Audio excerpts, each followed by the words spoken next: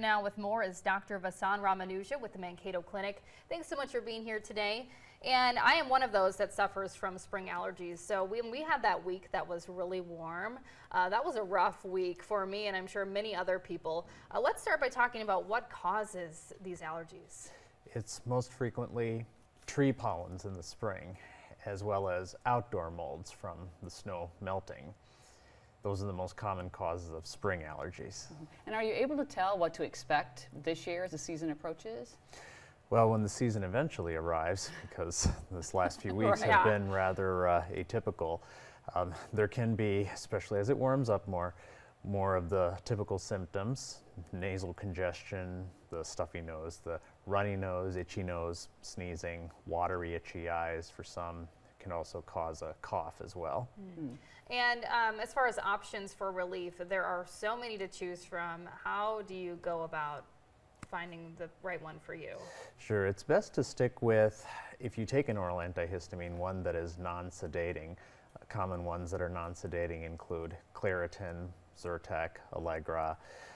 There are some nasal sprays available as well, uh, over the counter, some steroid nose sprays to help control inflammation in the nose. Examples include Flonase, Nasacort, Nasonex. But if you find that you're not having enough relief with using over-the-counter medications, it's definitely recommended to see an allergist for further evaluation. Okay. So that's for treatment. What about preventative measures? Are there any you can take? Sure. So for those who have outdoor allergies to pollens and the outdoor mm -hmm. molds, it's helpful to keep the windows closed in the home and car as much as possible during those seasons. And after spending lots of time outdoors during those seasons, washing the hair, at least rinsing it before bedtime, can help prevent those allergens from depositing on the pillow. And you talked about further treatment. What can you guys do to help?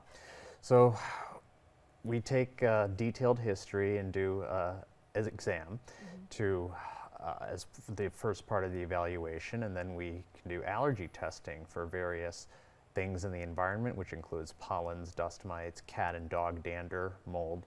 And based on those results, we can identify what environment control measures can be helpful in addition to tailoring specific treatments, whether it be medications or even allergy shots known as immunotherapy. So knock on wood, I do not really have a trouble with allergies th at this point, but I always hear the pollen count mentioned in different reports. Why is that important to pay attention to?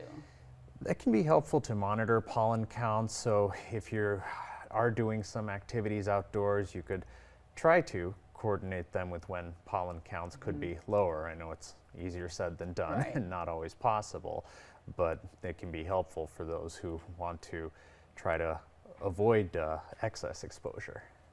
All right, and, and, we can see allergies, you know, in kids and adults. It really doesn't matter the age. And can people develop this, you know, at a certain stage in their life, even though they haven't had it for many years? They can. They don't necessarily have to start in childhood. They can even develop as an adult. I just jinxed myself then, saying, yeah, I, saying right. that I don't have a trouble with it. All right, so if the over-the-counter stuff's not working, they should maybe think about seeing a professional. Exactly. Yeah for further evaluation. Yeah, one more question. And so, do you recommend that people kind of switch things up? As so, um, if someone is taking, let's say, Zyrtec, for example, um, should they take it throughout the entire spring season, or should they just take it when they have symptoms or they feel that pressure?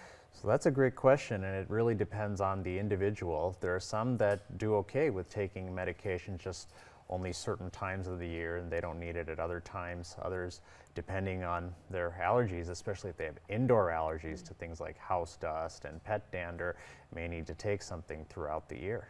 All right, some great information today. Thank you so much for being with us, and we'll have more.